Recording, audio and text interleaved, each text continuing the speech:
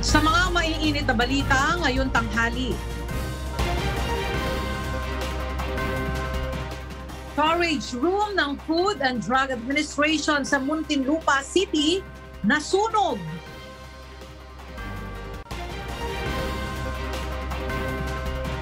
PhilHealth at hospital groups nagharap sa Kamara kaugnay ng circular na pansamantalang nagsususpindi sa pagbabayad ng claims.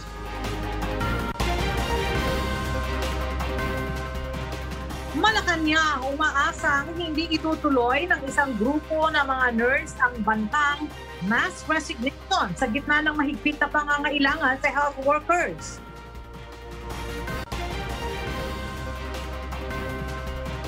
All-time high na bagong kaso ng COVID sa Pilipinas na itala kahapon na mahigit 18,000.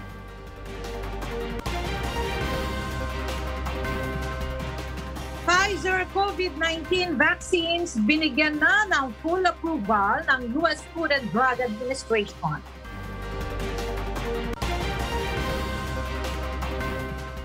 At Tokyo 2020 Olympic medalist tumanggap ng pagkilala at reward mula kay Pangulong Rodrigo Duterte.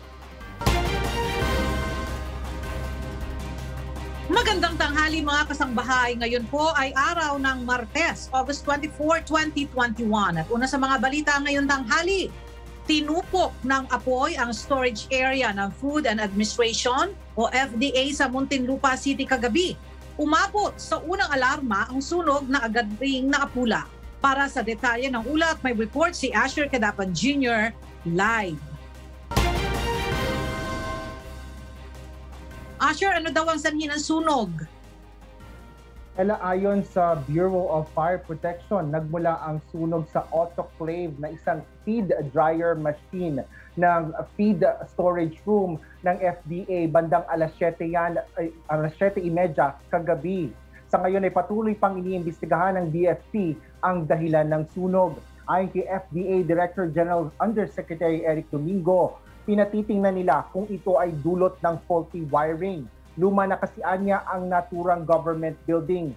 Umabot lang ang sunog ng first alarm ng DFP at naapula rin ito bandang alas 8 ng gabi. Wala namang naiulat na nasugatan o nasawi kaugnay ng insidente. Paliwanag ni Yusek Domingo, malapit sa nasunog na uh, feed storage room ang gusali kung nasaan ang mga hayop na ginagamit sa laboratory testing ng mga produkto. Ngunit nakahiwalay rin ito kaya hindi ito nadamay. Sa kabila nito, tiniyak ng FDA na patuloy pa rin ang kanilang operasyon. Dagdag pa ni Domingo, may plano na rin silang ipagiba ang nasunog na feed storage room. Gagamitin kasi anya itong bagong vaccine laboratory bilang paghahanda sa Vaccine Self-Sufficiency Program ng ahensya. Sa ngayon, Ella ay tinatayang aabot sa isang daang libong piso ang halaga ng pinsala ng sunog. Ella? Asher, kumusta naman yung mga equipment ng FDA na ginagamit sa pag-aaral ng mga bakuna? Kasama ba yon sa mga naapektuhan? Ela, wala pang kinukumpirma ang FDA kung may iba pang mga kagamitan na napinsala dito sa sunog. Bagaman sinasabi nga nila ay nakahiwalay itong uh, gusali ito, nasa dulo ito kumbaga ng uh, mga uh, gusali doon sa compound ng uh, FEA at uh, kanilang inaasahan na walang iba pang mga kagamitan na mahalaga na nadamay sa sunog. Ella. Alright, maraming salamat. Asher Kadapan Junior Live na nagulat mula sa Quezon City. Binatikos ni House Deputy Speaker Bernadette Herrera ang Philippine Health Insurance Corporation o PhilHealth Ayon sa mambabata, sumobra sa paggamit ng kapangyarihan ang ahensya matapos nitong suspindihin ang payment claims ng ilang ospital na kanilang iniimbestigahan dahil sa umano'y katiwalian. Nasa linya ng ating telepono si Nel Maribuhok para sa detalye ng ulat. Nel, nagkaharap na ba ang mga opisyales ng PhilHealth at ng mga hospital groups? Yes, agad dumalo dito sa pagdinig ng uh, House Committee on Health sina Health Secretary Francisco Duque III, Philippine Health Insurance Corporation President and CEO Dante Giran at ilang hospital group.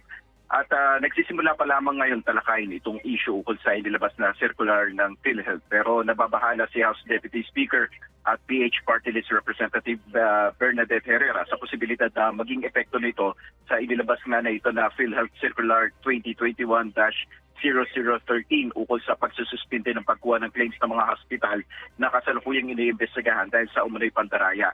Ayon kay Herrera, sa panahon ng pandemya, hindi dapat inaabuso ng PhilHealth ang kapangyarihan nito na maaaring malagay sa alanganin ang healthcare system ng bansa.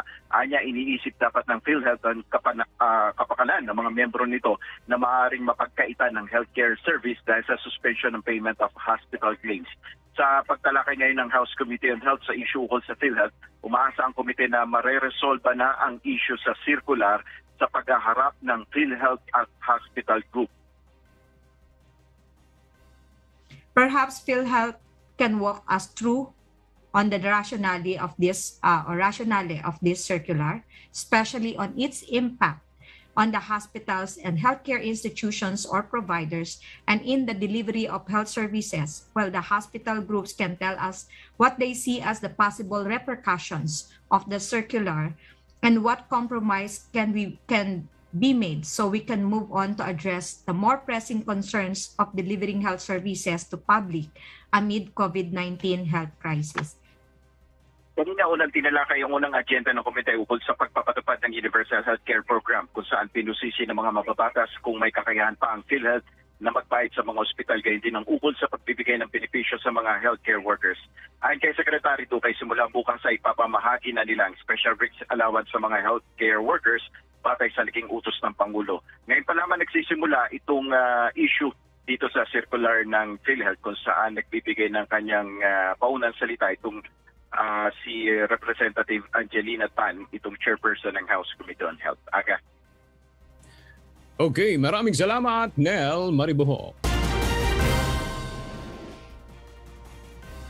Sa gitna ng pangangailangan ng mas maraming health workers sa bansa, nagbabala ng mass resignation ang isang grupo ng mga nurse sa Pilipinas. Ito ay kung hindi maibibigay sa kanila ang nakabimbing benepisyo sa loob ng sampung araw sa ilalim ng utos ni Pangulong Rodrigo Duterte. Ang detalye mula sa ulat ni Lucilio Ren. May pitong araw na lang na natitira mula nang ipinag-utos ni Pangulong Rodrigo Duterte noong Sabado sa Department of Health at Department of Budget and Management na ibigay ang nakabinbing benepisyo sa mga health workers. Pinanghahawakan ito ng maraming medical frontliners na matagal nang nagsasakripisyo mula nang magsimula ang pandemya. Ngunit sakaling bigong maibigay ito sa takdang panahon, disidido ang grupong Filipino Nurses United o FNU na ituloy ang banta nilang mass resignation ayon sa National President ng grupo na si Maristela Abinuhar. kung hindi matutuloy ang pangako nilang mai-release ang benepisyo until September 1, I'm sure no mabilis pa ang uh, pag uh, pagsak ng resignation paper ng ating mga kasamahang nurses.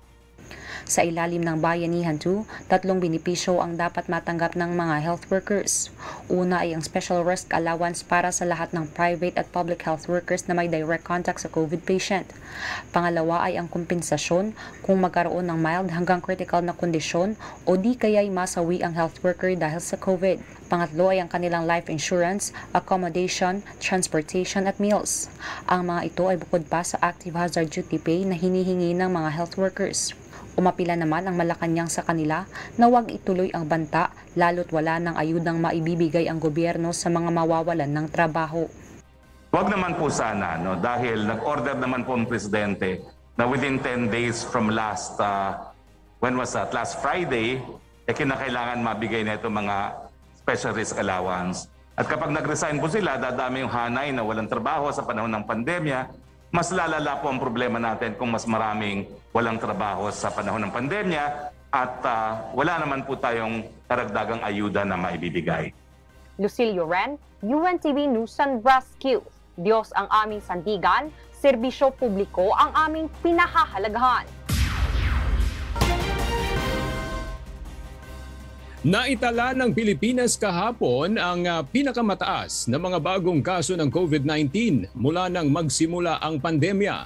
Sa datos ng Department of Health, 18,332 ang mga nadagdag kahapon. Sa kabila ng mataas na datos, may tatlong laboratorio pa na hindi nakapagsumite ng datos. Ngayon, 1,857,646 na ang kabuang kaso ng COVID-19 sa buong bansa. 130,350 ang mga aktibong kaso o mga maaaring makapanghawa. 13,794 naman ang mga bagong gumaling. Ngayon, 1,695,335 na ang total recoveries. 91.3% ito ng total COVID-19 cases. 151 ang nadagdag sa mga nasawi, kaya 31,961 na ang total deaths. Mahigit apat na raang bagong kaso ng Delta variant ang naitala ng Department of Health sa bansa. Ayon sa DOH, mayroon ng community transmission ng Delta variant sa Metro Manila at Region 4A dahil sa mabilis na paglobo ng mga kaso. Hindi na rin umano gaanong nakakatulong ang malawakang lockdown para maputol ang COVID-19 transmission. Ang detalye mula kay Aiko Miguel. Lalo pang tumaas ang naitatalang kaso ng Delta variant sa National Capital Region at Calabarzon Region. Batay sa pag-aanalisa ng mga eksperto, wala nang kaugnayan ang naturang mga kaso. Dahil dito masasabi na ng DOH na mayroon ng community transmission ng Delta variant sa dalawang rehiyon. So kapag nakakita tayo ng mga kaso or clustering in an area, tumataas ang kaso, alam natin that there is already the presence of the Delta variant in areas. Nilinaw naman ng DOH na kailangan pa ng mas matibay na ebidensya bago ideklarang may community transmission na sa buong bansa. Kahapon nadagdagan pa ang mga bagong kaso ng COVID-19 variant na nadetect sa Pilipinas. Apat na raan anim na put anim ay Delta variant cases, siyam na po ang Alpha variant, isandaan at lima ang Beta variant, at apat na put isang P.3 variant alerts for further monitoring. Sa kasalukuyan naman ay may kabuang 1,273 Delta variant cases sa bansa. Samantala, ipinaliwanag din ng DOH na hindi na epektibo ang malawakang lockdown para maputol ang hawaan ng COVID-19 infection. Yung malakihan ng mga lockdown at restrictions ay mukhang hindi na po nagiging effective para sa atin ano dito sa ating bansa. We have implemented these lockdowns for how many uh, times already? Uh, last March of 2020, nag-July and August tayo, tapos ito uling March and April of 2021 and now now Batay sa DOH at faster projections sa ipinapatupad na MECQ pagkatapos ng dalawang linggong ECQ sa NCR, aabot sa mahigit 66,000 ang active COVID-19 cases sa NCR sa katapusan ng Agosto. Posibleng umabot naman sa mahigit 269,000 active cases sa katapusan ng Setyembre. Ngunit may pakinabang pa rin naman ang lockdown kung sasabayan ng pinaigting na pagbabakuna, mabilis na case detection, contact tracing at isolation, at pagpapaigting sa minimum public health standards.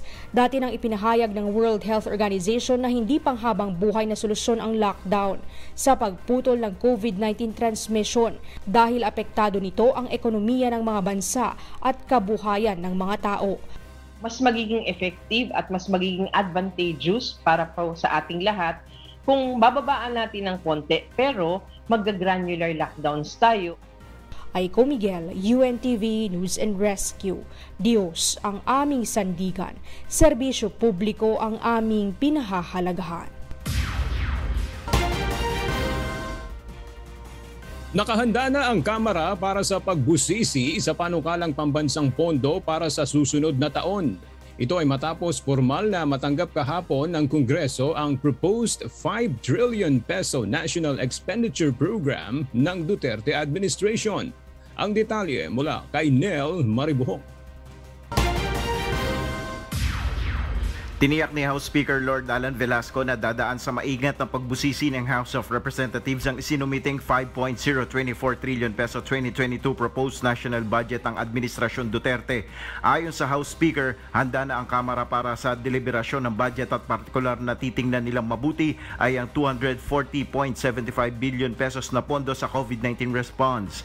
Kahapon, isinumiti ng Executive Branch sa House of Representatives ang panukalang budget. Sa budget message ni Pangulong Rodrigo Duterte, nanawagan siya sa mga mambabatas para sa agarang pagpapasa ng pambansang pondo para matiyak ang kaligtasan at kapakanan ng mamamayan sa hinaharap pang epekto ng pandemya.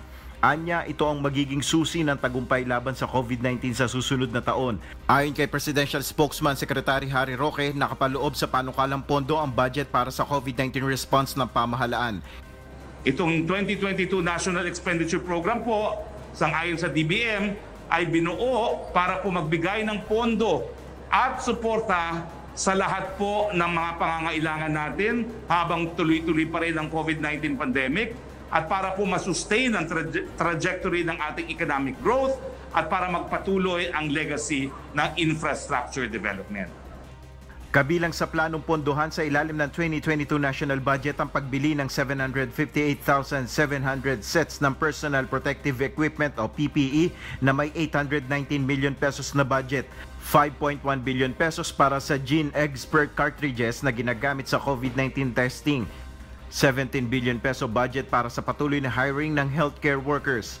45.4 billion pesos para sa COVID-19 booster shots sa fully vaccinated na mga Pilipino at 19.6 billion pesos para sa konstruksyon at pagsasaayos ng mga ospital.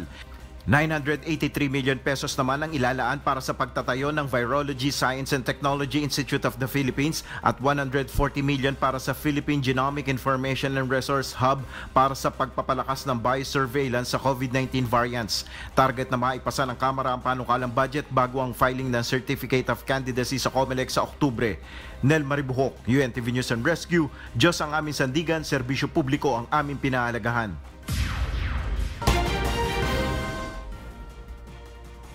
Nilinaw ng Malacanang na tuloy pa rin ang pamamahagi ng financial aid na inilaan para sa enhanced community quarantine areas kahit modified enhanced community quarantine na sa Metro Manila at iba pang probinsya. Batay sa datos ng Department of the Interior and Local Government, nasa 25% pa ang hindi na ipapamahaging ayuda. Para sa detalye, narito ang ulat ni Rosalie Coz. Maaari pa ring i-claim ng mga low-income resident na naapektuhan ng dalawang linggong pagpapatupad ng Enhanced Community Quarantine ang inilaang ayuda kahit downgraded na ang community quarantine sa Metro Manila, gayon din sa Laguna at Bataan. May hanggang August 25 ang mga lokal na pamahalaan upang tapusin ang pamahagi ng ECQ ayuda.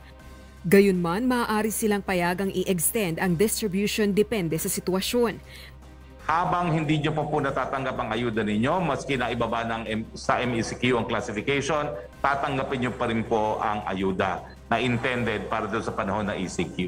Batay sa datos ng Department of the Interior and Local Government o DILG, 75% na ng inilaang pondo para sa ECQ ayuda ang naipamahagi ng mga lokal na pamahalaan sa Metro Manila. Samantala, umaasa naman ang Malacanang na ang August 6 to 20 ECQ ang pinakahuli ng hard lockdown sa Kapitolyo. Let's just say that we are hoping, kasi alam nyo naman, kada lockdown natin, we have to uh, um, adjust again our economic forecast. So far, positive pa rin pong inaasahan nating economic development within uh, the year of uh, 2021. Pero another lockdown, baka po hindi na natin makamit ang positive growth. No? Ayon sa Okta Research, nakatulong ang dalawang linggong ECQ upang pabagalin ang COVID-19 infection sa Metro Manila. Gayunman, kinakailangang ipagpatuloy ang maigting na hakbang sa loob ng apat pang linggo upang makontrol ang pandemya. Rosa Licoz, UNTV News and Rescue. Diyos ang aming sandigan, serbisyo publiko ang aming pinahahalagahan.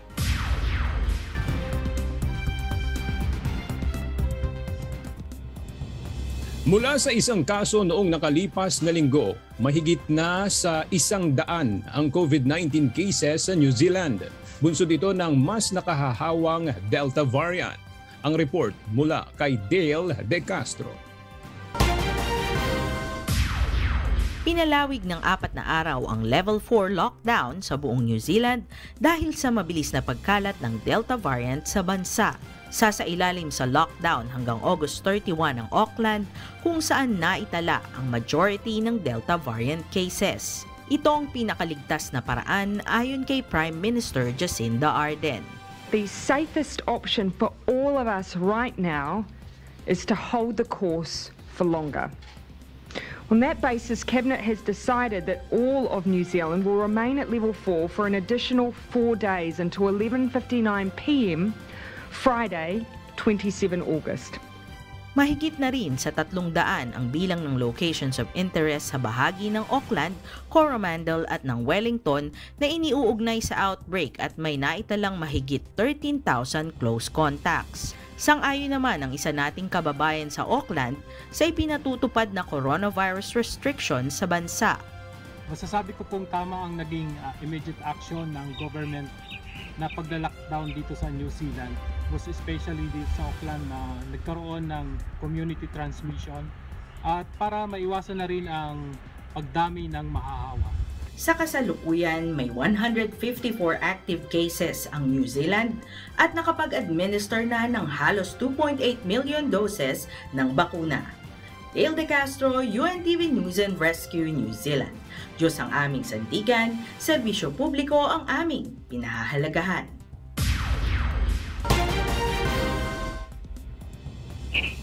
Pinaiigting pa ng Estados Unidos ang evacuation efforts nito sa Afghanistan.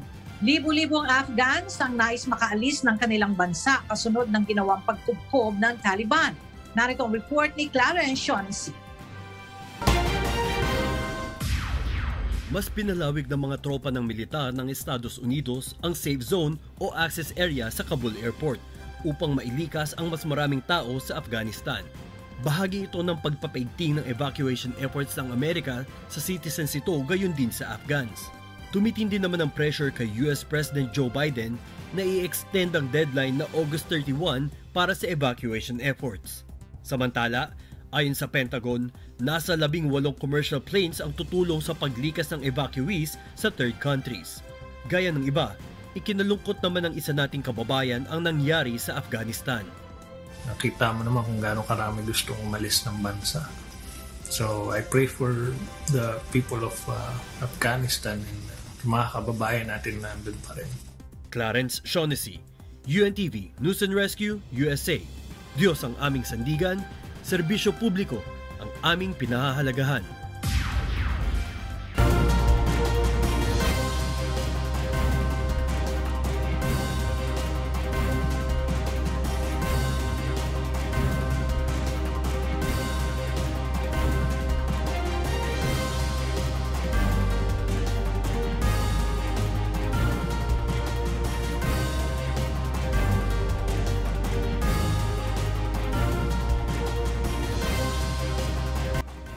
Inihintay na lang ng uh, Philippine Food and Drug Administration na magsumite ng Certificate of Product Registration application ang Pfizer-BioNTech para sa kanilang COVID-19 vaccine.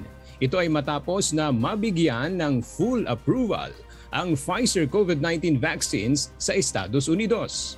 Para sa detalye ng ulat, nasa linya ng ating telepono si Aiko Miguel. Aiko, ano ang inaasahan kapag mayroon ng uh, Certificate of Product Registration ang Pfizer sa Pilipinas? Yes, Aga, ibig sabihin, maaari na itong mabili ng mga tao at maging ng mga private sector sa mga butika at kung saan ito magiging available. At kapag ito ay may Certificate of Product Registration na o CPR, ang Pfizer mismo ang magsusumite ng ulat sa Food and Drug Administration kung ano ang epekto ng mga bakuna sa mga tumanggap nito. Isasama pa rin ng FDA ang matatanggap nilang ulat sa Pfizer sa Adverse Events Following Immunization o AEFI report dito sa Pilipinas ng mga nabakunahan ng Pfizer COVID-19 vaccine. Ayon pa nga kay FDA Director General Eric Domingo, kapag may CPR application na ang Pfizer, sa loob ng isang buwan, ito ay maaprubahan at maari na ibenta ito sa Pilipinas.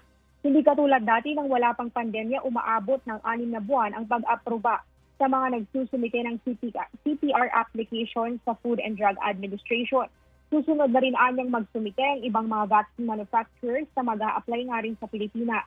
Sinulatan na rin anya ng FDA ang mga vaccine manufacturer upang tanungin kung kailan sila magsusumite ng kanilang aplikasyon, lalo't after one year ay matatapos na ang EUA ng mga ito dito sa Pilipinas. Yan muna ang latest live. Balik sa iyo agad. Aiko, kung uh, maibebenta na yung uh, Pfizer COVID-19 vaccines, magkano naman kaya ang uh, halaga nito? Yes, aga ang presyo ayon kay FDA Director General Eric Domingo ay katulad pa rin sa presyong iniaalok sa pamahalaan. Ngunit hindi rin niya ito maidetalye dahil ang vaccine cluster kasama si Vaccine Vice Secretary Carlito Galvez Jr., UH Secretary Francisco Duque III at ang BBM ang nakakaalam ng presyo ng mga COVID-19 vaccines na, na iniaalok dito sa Pilipinas.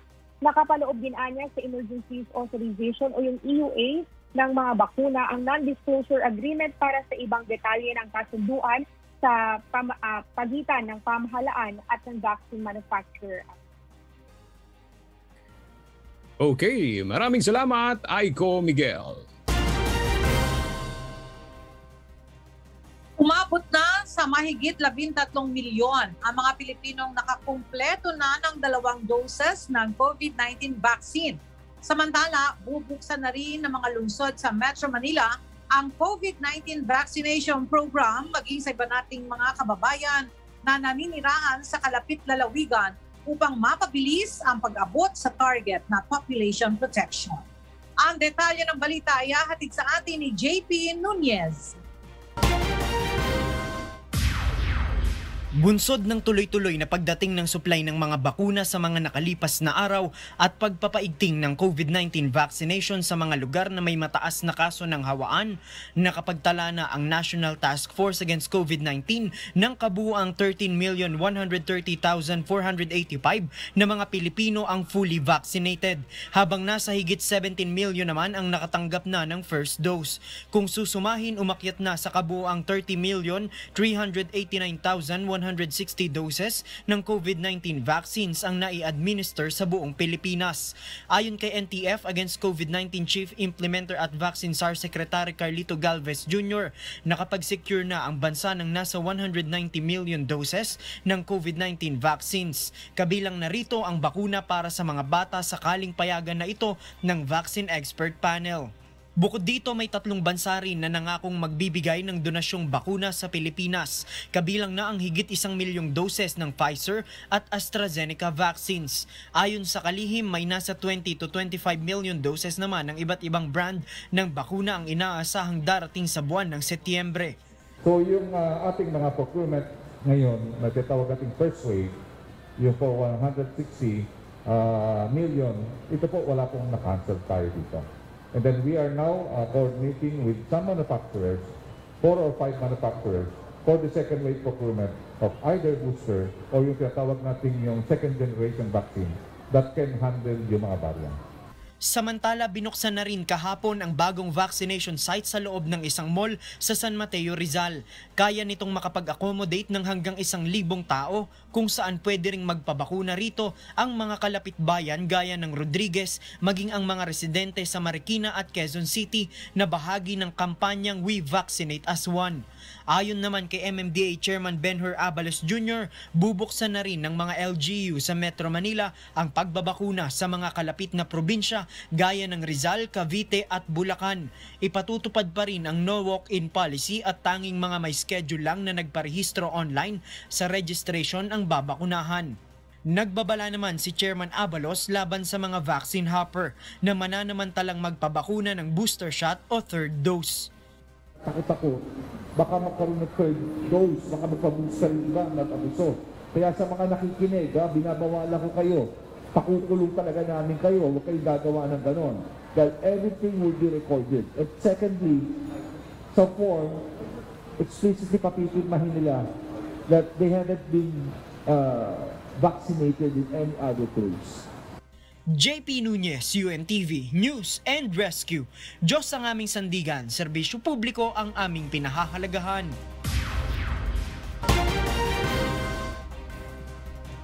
Itutuloy ng Senate Blue Ribbon Committee ang investigasyon nito sa mga nakitang deficiencies ng uh, Commission on Audit sa paggamit ng Department of Health ng bilyon-bilyong uh, COVID-19 funds.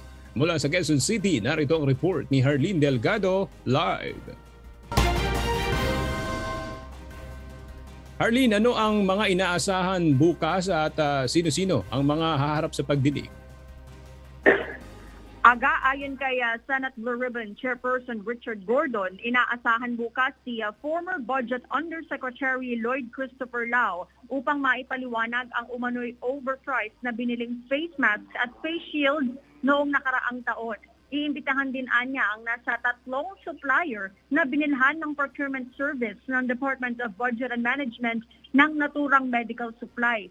Bukod dito aga, kasama rin sa magiging agenda bukas ay ang iba pang deficiency na nakita ng Commission on Audit sa naging paggamit ng pondo ng Department of Health gaya ng mga na-expire na gamot at ang uh, naging paglipat ng 42 billion pesos na pondo ng DOH sa procurement service ng DBM.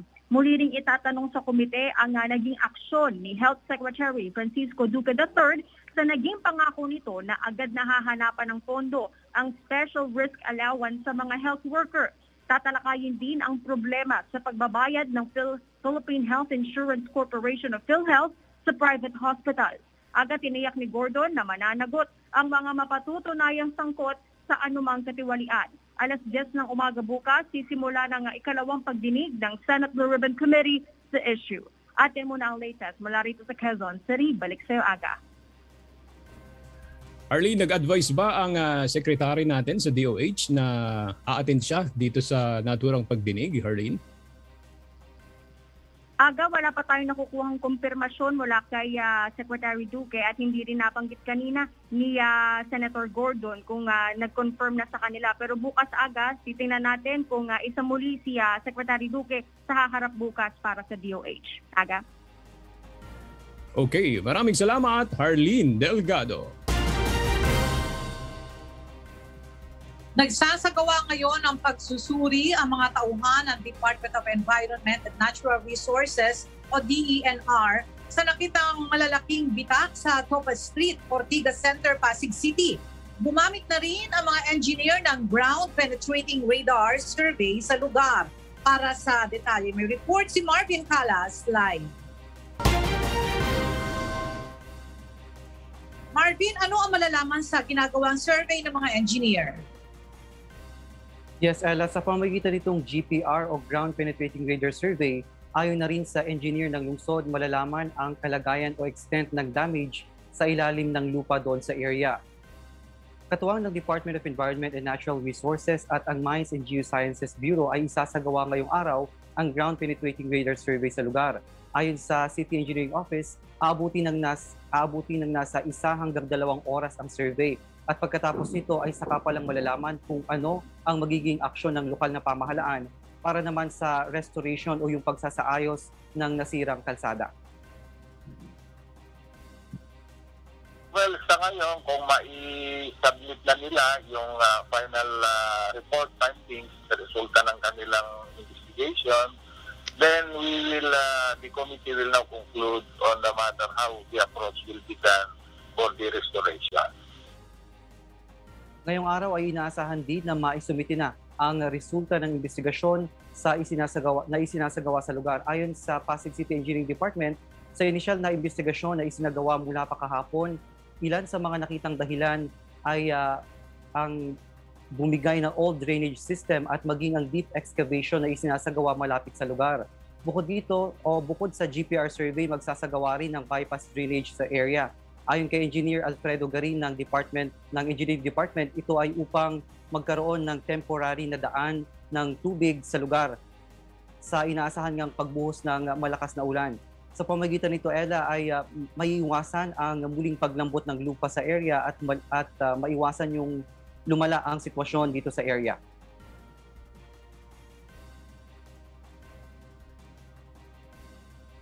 Yun muna ang gagawin nila, diversification of the uh, new bypass uh, drainage system going to the main uh, part of the drainage along the other side of the road. Kahapon ay nagsagawa rin ng inspeksyon sa mga kalapit na establishmento sa lugar at sa pakikipag-ugnayan ng City Engineering Office sa mga building administrators ay maglalabas ang mga ito ng official notice na walang dapat ikabahala ang mga umuukupa sa lugar. Ela oras na mapasimulan naman ang restoration sa lugar ay inaasahan na matapos ito sa loob lamang ng limang araw. Yan muna ang ating update. Balik sa iyo, Ella. Alright, maraming salamat Marvin Calles live na nagulat mula sa Quezon City. Aprobado na ng Commission on Elections o COMELEC and Bank ang bagong electoral manual para sa darating na 2022 national at local elections. Nakapaloob dito ang mga health protocol sa pagsasagawa ng ligtas na halalan sa gitna ng pandemya. Para sa detalye, narito ang ulat ni Dante Amento.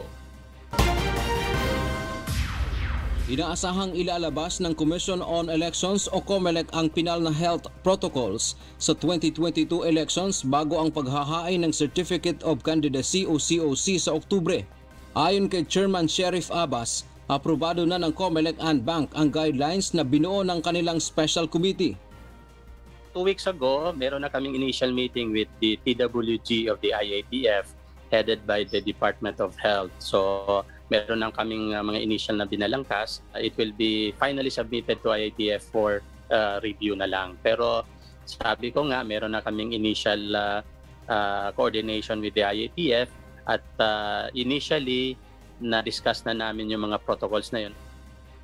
Pero hindi pa ito inilabas sa publiko dahil kailangang aprubahan muna ng Interagency Task Force Against COVID-19 o IATF na pinangungunahan ng Department of Health.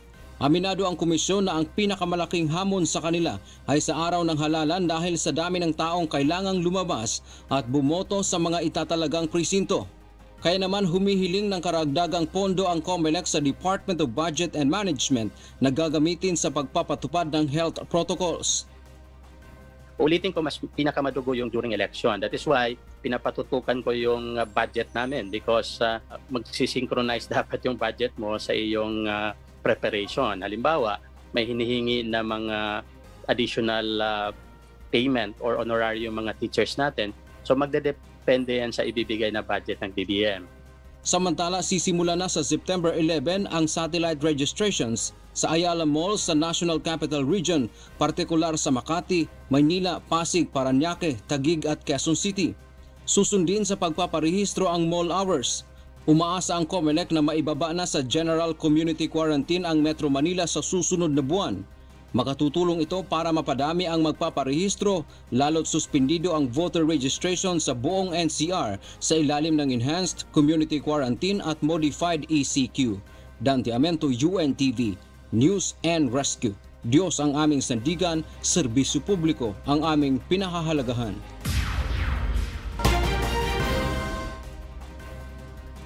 Bubuksan na sa mga motorista ngayong araw ang silang section ng Cavite Laguna Expressway. Sa official Facebook post ni Department of Public Works and Highway Secretary Mark Villar, inianunsyo ng kalihim ang pagbubukas ng 7.2 kilometer link mula Santa Rosa Tagaytay Interchange hanggang sa Silang East Interchange ng Calax. Ayon sa DPWH, tinatayang aabot sa 5,000 motorista kada araw ang makikinabang sa pagbubukas ng silang section na inaasang makatutulong upang mapaluwag ang trapiko sa kahabaan ng Governor's Drive sa Aguinaldo Highway at Santa Rosa Tagaytay Road. Ang Calax ay operate ng MP Kala ng isang subsidiary group ng Metro Pacific Tollways Corporation.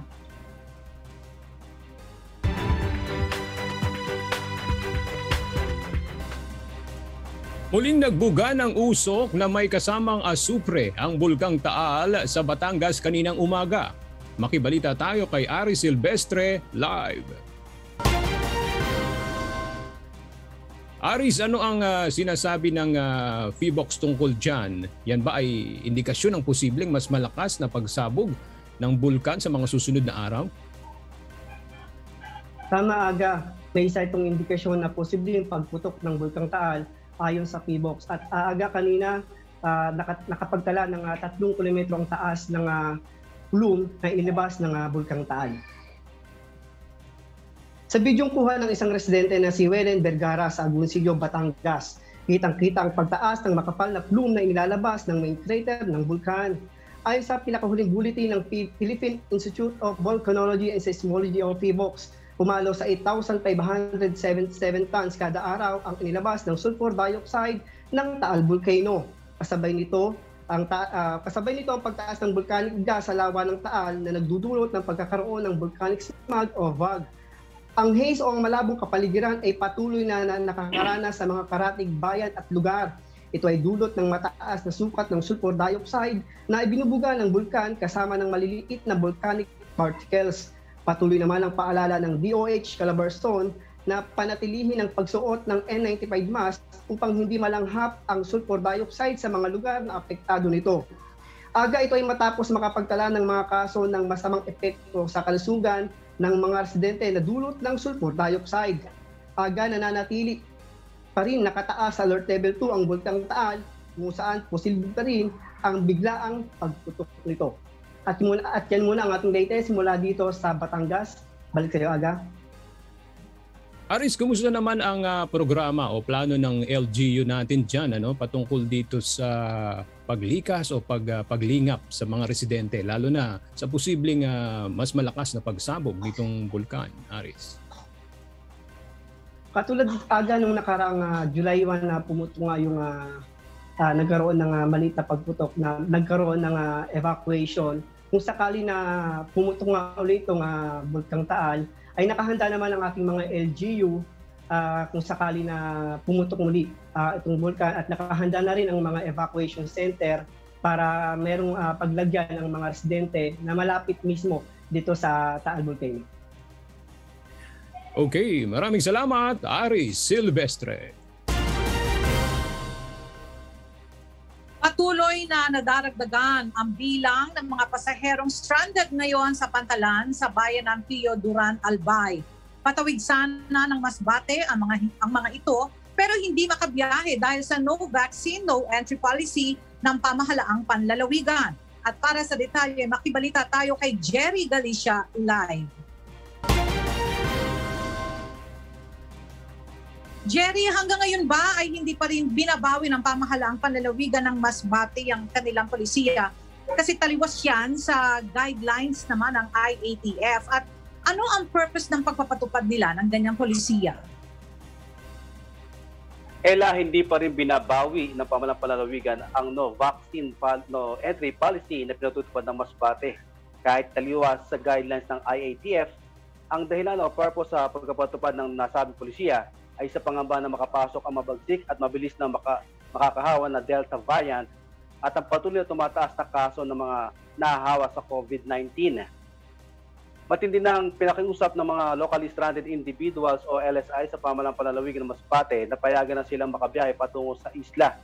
Apat na araw na kasi sila stranded sa Pioduran Port sa Albay at pahirap ng pahirap ang kanilang sitwasyon sa pantalan dahil parami ng parami ang mga dumarating na pasahero na ngayon ay nasa apat na raan. Bukod dito, mayroon na rin umanong mga batang nagkakasakit dahil sa mga pag-ulan na nararanasan. Pinangaman din ng mga LSI ang COVID-19 dahil hindi na nasusunod ang physical distancing sa dami ng mga pasahero. Ela magsasagawa pa rin muli ng pagpupulong ang provincial IATF ng Masbate hinggil sa kalagayan ng mga stranded na Masbateño sa Pioduran Port dahil kumukwestiyon na rin ni First District Congressman Narciso Bravo sa pinatutupad na no vaccine, no entry policy ng pamalang panlalawigan. Samantala kanina ay nagbibig, kanina umaga ay nagbigay na ng tinapay ang lokal na pamalaan ng Pioduran sa mga stranded na pasahero. Yan muna ang balita mula dito sa Masbate. Balik siyo, Ella. Jerry, meron na ba tayong bilang kung ilan ang lahat ng mga na-stranded dyan? Ella, sa ngayon ay wala pa tayong nakukuhang sa uh, nakukuha ang tamang bilang o yung total na stranded na pasahero, estimated na nasa apat na raan na mahigit itong mga nandoon sa Piodoran Port, Ella. So paano ngayon, Jerry, dahil yung iba ay nagkakasakit na, dyan ba sila mananatili pa rin? Yes, Ella, doon pa rin sa may labas ng Piodoran Port, pansamantala sila nanunuluyan itong mga stranded na pasahero, Ella. At ang isa ko pang concern, Jerry, ano, dahil tinapay lamang ang binibigay sa kanila. Siyempre, hindi yon sapat. Wala bang ginagawa ang uh, kinauukulan dyan para naman na uh, makakain sila at makainom ng tubig? Ella, walang binibigay na anuman tulong pa ang pamalang ng Masbate. Kanya-kanya silang gastos para maka raos sa araw-araw na kanilang pangangailangan itong mga stranded nga ng mga pasahero dito sa Piodoran. Ella. Alright, maraming salamat Jerry Galicia live na nagulat mula sa Masbate City.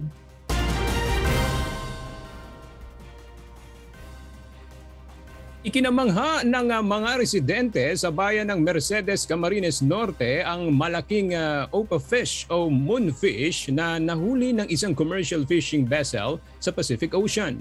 Ayon kay Ronel Palmes Dacuya, kawani ng uh, Bureau of Fisheries and Aquatic Resources o BFAR, ang nahuling fish o moonfish ay tumimbang ng 68 kilograms at may habang 51.5 centimeters. Ang opa fish ay may scientific name na Lampris guttatus. Kilala ito sa lokal na tawag na Diana. Kaya nitong uh, lumaki hanggang 200 cm o mahigit 6.5 feet at kayang tumimbang hanggang 200 kilograms. Pinarangalang muli ni Pangulong Rodrigo Duterte ang mga atletang Pinoy na nag-uwi ng medalya sa 2020 Tokyo Olympics. Ibinigay na sa mga ito ang iba't ibang gantimpala. Kasama rin sa tumanggap ang 1996 Olympic silver medalist na si Mansueto Onyok Velasco na una nang nagsabi na hindi natanggap noon ang iba pang mga ipinangakong benepisyo sa kanya. Narito ang report ni Lucilio Red. Muling pinarangalan ni Pangulong Rodrigo Duterte ang Filipino athletes na nag-uwi ng medalya sa Pilipinas sa 2020 Tokyo Olympics. Sa kanyang talumpati kagabi, sinabi ng Pangulo na ang pagwawagi ng mga atleta sa gitna ng pandemya, lalo na ang pag-uuwi ng kauna-unahang gintong medalya, ay nakapagbigay inspirasyon sa mga Pilipino. Your hard work, dedication, and sportsmanship even amidst the challenges in your training and competitions prior to the Olympics are truly inspiring. I am confident that you will get better and stronger in securing more victories in the future. Ibinigay na din ng Pangulo ang cash incentives at iba pang insentibo sa mga Filipino athletes. Tinanggap ng gold medalist at weightlifter na si Heidi Lindias ang Presidential Medal of Merit. Gayun din ang perang gantimpala na nagkakahalaga ng 18 milyong piso sa ilalim ng batas, opisina ng Pangulo at iba pang ahensya ng gobyerno.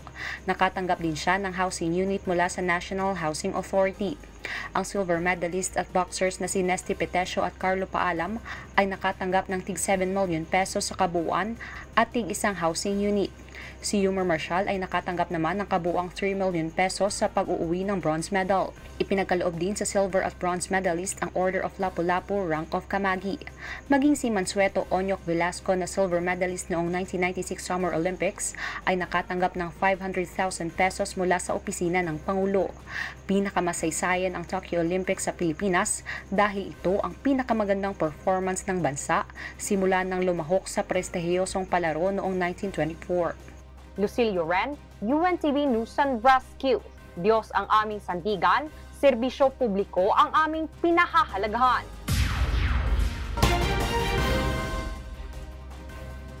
Mga kasangbahay, kung mayroon kayong hindi napanood na balita o nais nyong muling mapanood ang C-News, maaari nyo po itong muling balikan sa aming mga official social media account.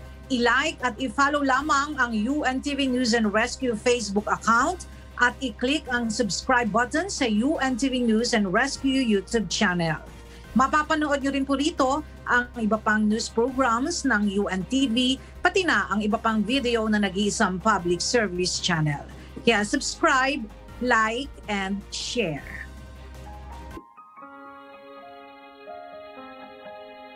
At sa ating pong iiwang mga salita ng Diyos na ating sandigan mula sa Aklat ng Kawikaan, Kapitulo 25, versikulo 21 na nagsasabi, Kung ang iyong kaaway ay magutom, bigyan mo siya ng pagkain na makakain. At kung siya'y mauhaw, bigyan mo siya ng tubig na maiinom.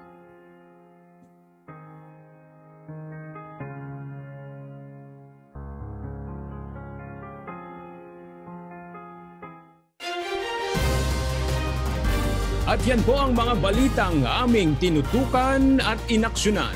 Dahil sa aming pagbabalita, una ang pagkalinga sa kapwa. UNTV C News, may balita saan man panig ng daigdig. At dito sa UNTV, Diyos ang aming sandigan, serbisyo publiko ang aming pinahalagahan. Magandang tanghali at salamat sa Diyos.